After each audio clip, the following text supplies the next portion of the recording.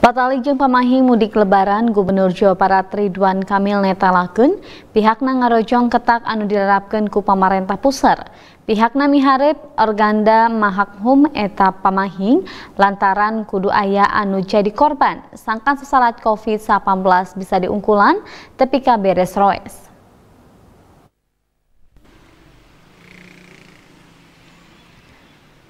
Gubernur Jawa Barat Ridwan Kamil netelakeun patalijeng pamahing mudik pihakna ngarojong ketak anu dilarapkeun ku pamarentah puseur.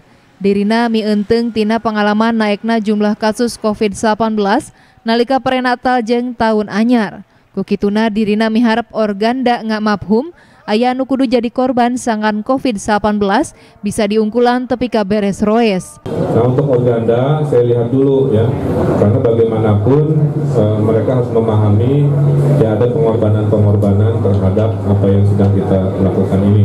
Kalau perspektifnya dari semuanya kepentingan masing-masing ya negara ini semua kayak main bola, semua merasa e, apa bergerak ingin diperhatikan tapi tidak meraih kemenangan. Nah itu itu harus melihat perspektif dari besar.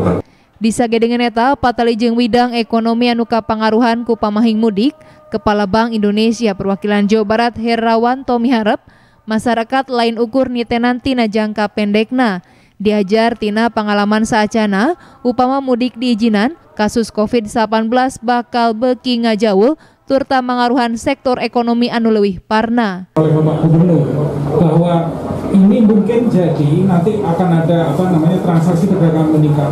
Tapi kemudian dampak ikutannya yang mungkin kita harus selalu waspada yaitu belajar dari pengalaman yang lalu ternyata eh, kasus meningkat yang akibatnya malah lebih parah terhadap perekonomian. Ini yang harus kita ingat. Jadi jangan pernah dalam mengambil kebijakan terutama dari sisi pemerintah itu melihat hanya dari sisi jangka pendek.